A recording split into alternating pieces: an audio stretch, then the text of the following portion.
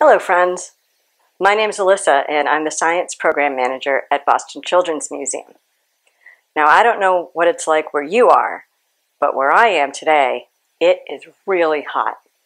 I'm pretty sure it's at least 95 degrees outside, maybe even more. And when it's hot like that, one of the things that I really enjoy to cool off is a slushie. Do you like slushies? They are tasty, but I'm pretty sure they're just made of like sugar and coloring. And I think we can use science to make a better kind of slushy.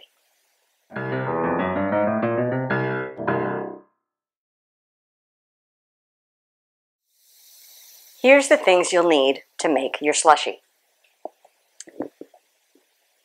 Some kind of juice, whatever you like is fine. Whatever flavor, any combination, you choose.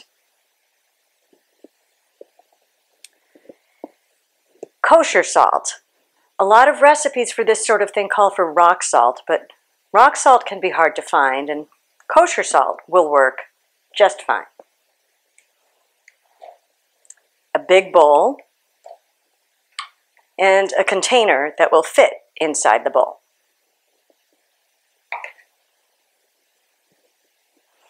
A spatula or a spoon and some ice. And then, when your slushy is ready, you'll want a glass to pour it into and a straw to drink it with. If you have a smoothie straw, that might make it a little easier, but I have mine with just a regular straw and a spoon, and that works fine. Let's get started. Fill your bowl with ice, and then nest your container into the ice so that the ice comes all the way up the sides of the bowl. Then pour juice into your container. Cover your container with its lid or with some plastic wrap. Then sprinkle kosher salt all around to cover the ice. Remove the lid and then wait.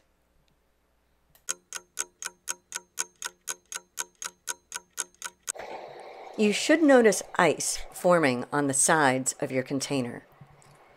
Use your spatula or spoon to scrape the ice away from the sides and bottom of your container. Then wait another 30 minutes. Then, you guessed it, do it again. While we're waiting, let's talk about what's going on here. After all, we did say that we'd be using science to make our slushies. The ice and salt are, of course, cold, and it melts in what we call an endothermic reaction. Endo means in, and thermic means heat. That means that the ice and salt are pulling heat in from somewhere else in order to melt. And they're pulling it in from the juice. Now, that doesn't mean that the juice is hot, but it is warmer than the ice. As the heat leaves the juice, the juice begins to freeze. In fact, if you didn't stir it and just let it sit, you would just get a block of juicy ice.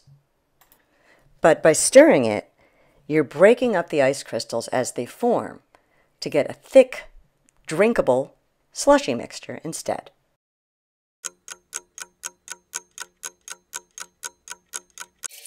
By this time, your juice should be getting pretty thick with ice crystals and should look, well, slushy.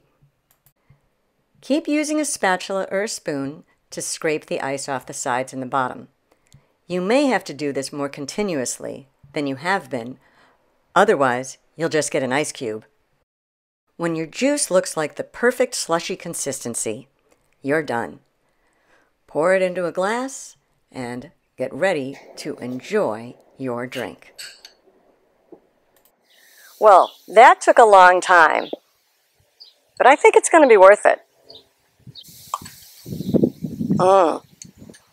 This is better than any slushy you're going to get at a convenience store. And You can make it yourself with science.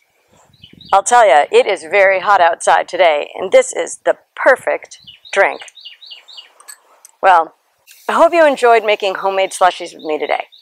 If you enjoyed this video, don't forget to check us out on social media and subscribe to us on YouTube. Just press the big red button. I'll see you next time.